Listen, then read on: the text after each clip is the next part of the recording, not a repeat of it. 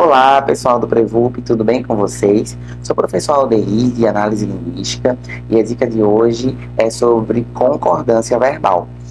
Quando a gente vai usar frases com percentual, primeiramente é importante relembrar que os termos percentual e porcentual são sinônimos. Então dá para usar um ou outro sem problema nenhum.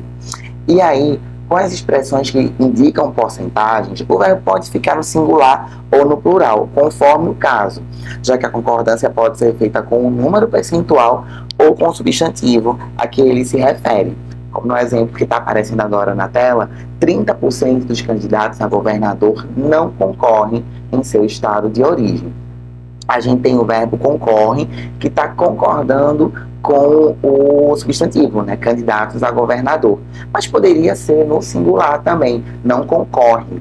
E aí, nesse caso, a concordância seria feita com o percentual, que está lá no início da oração.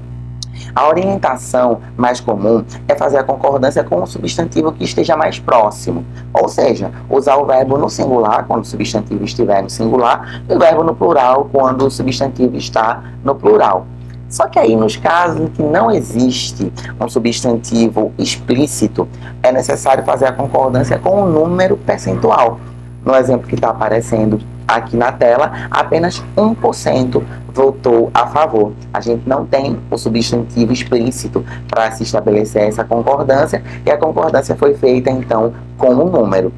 Já quando a gente fala de uma locução verbal passiva, a concordância é feita da forma tradicional da concordância nominal, ou seja, feminino com feminino, plural com plural, masculino com masculino, singular com singular, etc. No exemplo que a gente está vendo aqui, 40% das mulheres pesquisadas são recém-graduadas.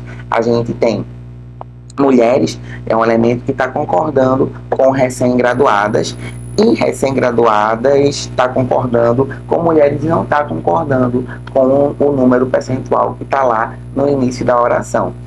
Nossa dica de hoje foi essa. Até a próxima.